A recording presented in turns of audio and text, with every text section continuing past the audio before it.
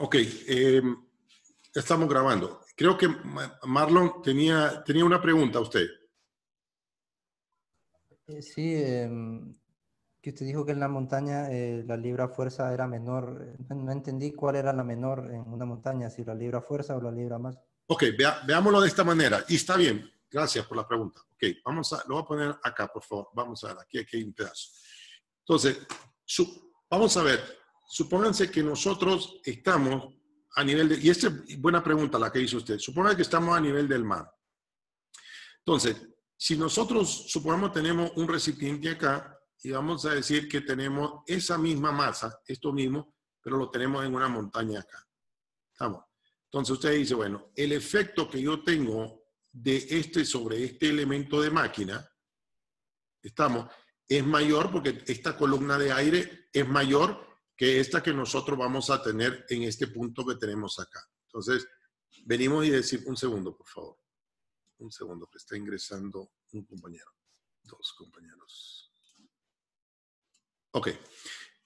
Entonces, viene usted y dice, bueno, a nivel del mar, a nivel del mar, ¿cuál va a ser mi gravedad? Va a ser 32.2. Entonces usted dice, bueno, ¿qué va a pasar? Digo yo, fuerza fuerza es igual a la masa. Vamos a decir que esta es una libra masa. Entonces digo yo, una libra masa.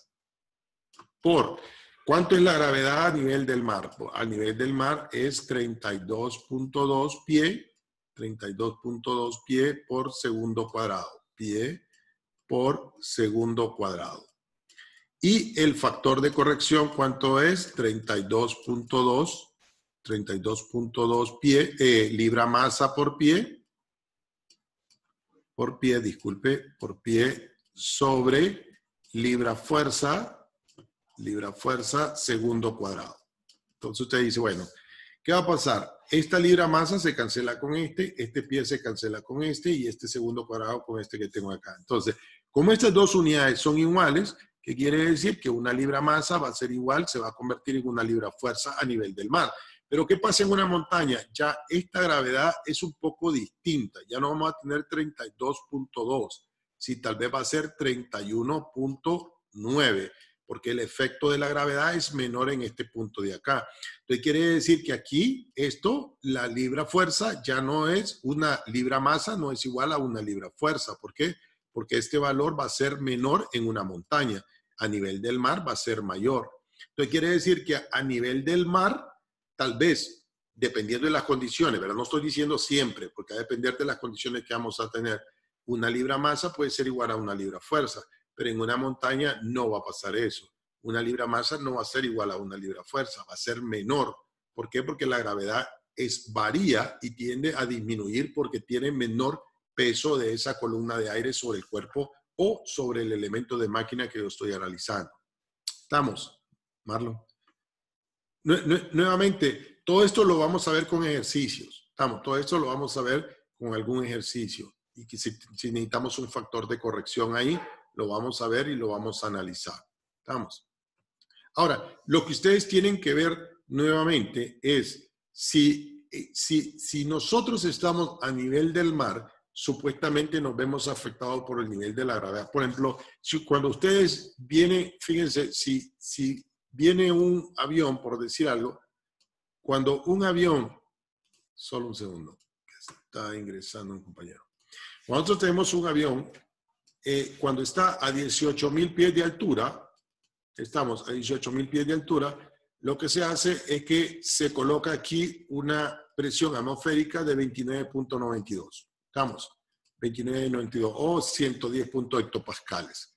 Cuando usted baja de esto, tiene que corregir. Entonces, cuando usted va a aterrizar en algún aeropuerto, le dice cuál es la presión, cuál es la temperatura y cuál es la presión manométrica en ese punto, porque tiende a variar dependiendo de la temperatura, del lugar donde esté, del viento, todo esto vamos a tener. Entonces, todas esas condiciones cambian, no son una constante. Lo que a nosotros nos dieron que la gravedad es una constante, bueno, va a depender de qué punto nosotros estemos analizando y cuándo lo estemos analizando.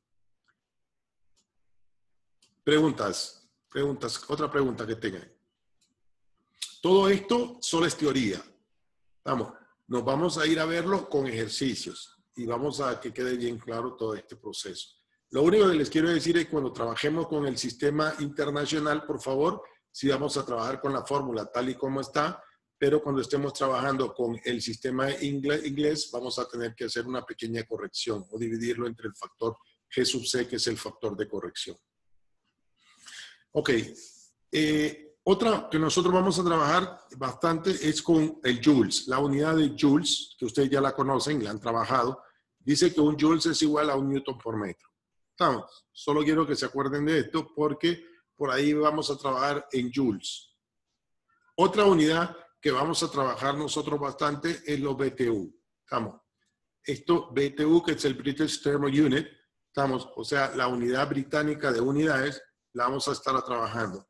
Cuando ustedes van a, un comercio y compran un aire acondicionado, eso es lo que le está diciendo, 1000 BTU, le está diciendo esta unidad que nosotros tenemos, que es el sistema inglés. Estamos.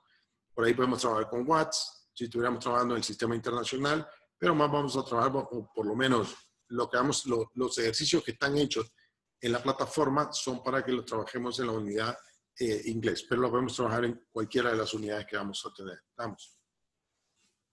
Eh, voy a ir sobre las, las, las, cosas que necesitamos ver. Todo esto lo vamos a ver con ejercicios. Estamos, de alguna manera lo vamos a, a relacionar. Ok, aquí sí ya entramos. Aquí quiero que le pongan ojo porque todas estas son posibles preguntas en examen vamos a, de alguna manera, yo les decía, cuando resolvamos la guía de estudio, están todos estos, estamos, y, en la guía de estudio, cuando la resolvamos, vamos a ver todas estas definiciones nuevamente.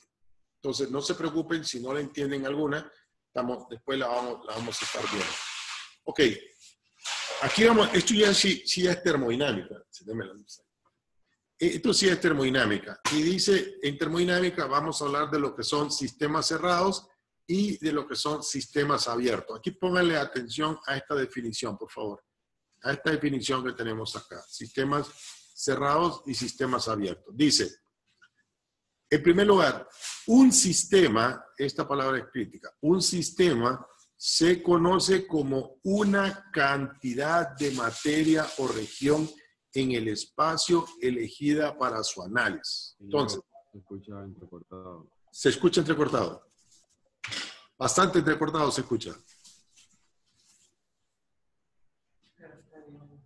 Sí, está rápido, no sé si... Bueno, eh, miren, lo, voy a grabar, todo lo vamos a grabar. Estamos, si no se entiende, por favor, lo voy a dejar bien, bien, bien, bien desarrollado. Lo voy a poner en la plataforma el día de hoy.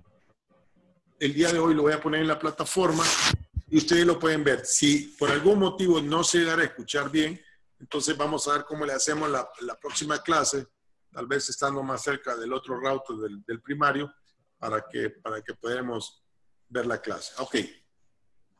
Solo quiero que, veamos, eh, vamos, nos vamos a, vamos a terminar con esto, vamos a cerrar el día de hoy con esto. Estamos solamente con esta definición para, para luego eh, ver si funciona o, o si, qué podemos hacer. Ok de ahora en adelante, lo que voy a explicar ahorita, pónganle atención, por favor, mucho ojo, porque vienen, vienen exámenes, son preguntas claves porque les van a servir. Dice, sistemas cerrados y sistemas abiertos. Aquí ojo a esto. Un sistema, oigan bien, un sistema se define como una cantidad de materia o una región en el espacio elegido para su análisis. De ahora en adelante, por favor, cuando utilicemos la palabra sistema, estamos, de aquí lo que estamos hablando es de masa fija. Por favor, eso es lo que quiere decir. Se desconectó un momento, un segundo, por favor. No sé si, si estamos en línea nuevamente. Sí, Sí, sí, se, fue, se fue el internet por un segundo. Vamos, eh, lo, me lo mostró en el VPN. Vamos a tratar de terminar el día de hoy la clase. Solo, con esto de acá vamos a cerrar. Sí, aquí dice Your Internet Connection is unstable. No sé qué está pasando, pero, pero solo vamos a terminar. Oh, ah, bueno, vamos, vamos a terminar solo con esta definición y después vamos a ver cómo le hacemos la otra clase, por favor. Solo veamos esto, por favor. Dice, sistemas cerrados y sistemas abiertos. Dijimos lo siguiente. Esto es importante. Cuando hablemos de sistema, de ahora en adelante, por favor, vamos a hablar, cuando hablemos de sistema, vamos a hablar de lo que es masa fija, por favor. Masa fija. ¿Estamos? O sea, ¿qué quiere decir? Que es algo que no cambia su masa en el tiempo. Si yo, por ejemplo, tengo un recipiente cerrado acá y tengo dentro de esto una libra masa, estamos, eso es un sistema. ¿Por qué? Porque tengo una masa la cual he puesto mi atención y la masa es fija, no cambia en el tiempo. de ahora en adelante, si yo les digo, es un sistema, es una masa fija. Por eso es que si ustedes se fijan, en, en la Tierra dice un sistema ecológico. Significa que es fijo, es una cantidad que no cambia. La Tierra es un sistema. ¿Por qué es un sistema? Porque es una masa fija, ¿verdad? No hay supuestamente ni masa entrando ni masa saliendo. Sencillamente todo lo que nosotros tenemos acá es una masa que permanece constante. No hay nada que esté entrando ni saliendo. Entonces, cuando hablamos de sistema, de ahora en adelante vamos a hablar de esto, de lo que es una masa fija. Por eso dice, es una cantidad de materia o una región en el espacio definida para su análisis. Después dice, la masa o región fuera del sistema se conoce como alrededores importante también. ¿Por qué? Y vamos a ver aquí, esto es un sistema que tenemos acá. Fíjense, es un sistema. Todo lo que está afuera de esto se conoce alrededores. Y es importante eso. porque Supónganse, o lo vamos a poner acá, alrededores. La superficie real o imaginaria que separa al sistema de sus alrededores se llama frontera. Y las fronteras de un sistema pueden ser fijos como pueden ser móviles. Quiero explicar por qué es importante esto. Supónganse que a ustedes les dicen, ingeniero, necesitamos nosotros poner un aire acondicionado. Vamos, por decir algo, voy a poner algo que conocemos, un aire acondicionado. Entonces viene usted y dice, bueno, vamos a poner un aire acondicionado. Tenemos el aire acondicionado acá. Entonces, yo lo que tengo que saber en primer lugar, cuánta masa está entrando acá y tengo que saber cuánta masa está saliendo. Si esto de aquí es la habitación y esto de aquí es el medio ambiente o alrededor, para decir si el aire acondicionado va a funcionar, tengo que ver qué es lo que está pasando con mi alrededor. Supónganse que acá, donde yo coloco el aire acondicionado, la parte de atrás no hay ventilación, o sea, no hay movimiento de aire, quiere decir que aquí siempre va a estar caliente. Por lo tanto, cuando esto va a trabajar ineficientemente. ¿Por qué? Porque mi alrededor está súper caliente. Entonces, si aquí está, por decir algo, voy a poner una temperatura 40 grados centígrados y afuera está a 30 grados centígrados, la única diferencia que tengo son 10 grados centígrados para poder pasarle energía a este. Por el contrario, si esto está súper ventilado, quiere decir que de repente la, el alrededor aquí solo va a estar a 20 grados centígrados, por lo tanto, él trabaja mejor. O supónganse que acá tenemos un horno, por decir algo, que hace que este área esté más caliente. Entonces, es importante los alrededores, porque lo que está pasando alrededor de un sistema me va a permitir saber si estoy siendo eficiente o ineficiente en la instalación de algo. Desde ahora en adelante, cuando veamos, es importante que veamos los alrededores, veamos qué es lo que está pasando alrededor del elemento de máquina con el cual estoy trabajando. Entonces, para terminar, esto que nosotros tenemos acá, estamos, vamos a decir lo siguiente, los sistemas, de ahora en adelante, cuando hablemos de sistemas, Estamos hablando de masa fija. Esto es un sistema, es una masa fija. Todo lo que esté afuera de este sistema se conoce como alrededor. Estamos alrededor. Y este sistema está definido por algo que se llama frontera. O sea, yo tengo que definir cuál es la frontera de mi sistema. Vamos. Entonces, nuevamente, sistema, masa fija. Después, todo lo que esté fuera del sistema lo vamos a conocer como alrededores. Y el sistema va a estar definido por algo que vamos a llamar de ahora en adelante frontera del sistema. Antes de hacer cualquier análisis de cualquier ejercicio que nosotros tengamos en clase, vamos a tener un segundo, creo que se, cortó. ¿Me escuchan? Se escucha.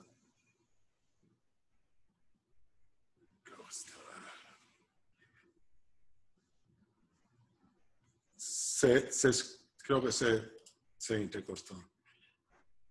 Ok, vamos a dejarlo el día de hoy hasta acá. Vamos a continuar el, el, el lunes. Por favor, nos vamos a quedar, vamos a volver a explicar esto del sistema. Vamos a cerrarlo el día de hoy porque no se está escuchando muy bien. Ahí tengo varios comentarios, varios chats.